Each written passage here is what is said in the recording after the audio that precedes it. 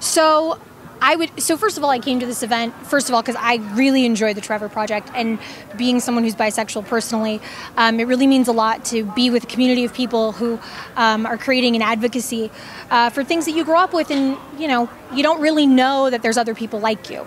So tonight's event was really really special to me for that respect, and also getting to talk to the cast of How to Get Away with Murder, um, which is one of my very favorite shows, uh, was really really an excellent moment of my life so far, and uh, talking with Jonathan Tucker whose actual fiance is on the board here at Trevor Project, was really great too. So hopefully, we'll see some great fundraising from tonight.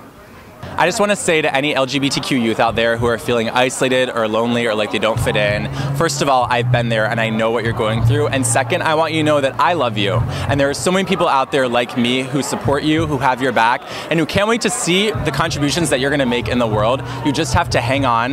You have to find that community and support, which you will. Even if you feel like there's no one in your community who understands you, there is one person who is some ally or who will be there to listen and help you. And so when you can get to that level, share it with someone. Find someone who might be able to help you and give you that affirmation that you deserve.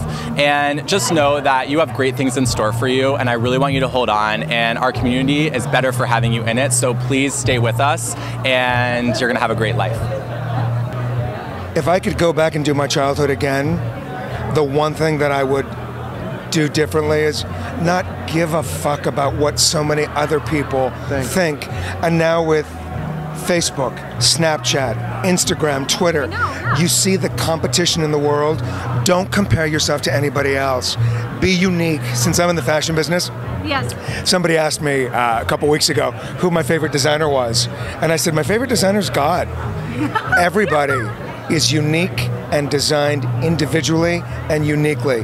There's no two alike. Why try to be somebody else when you are amazing on your own?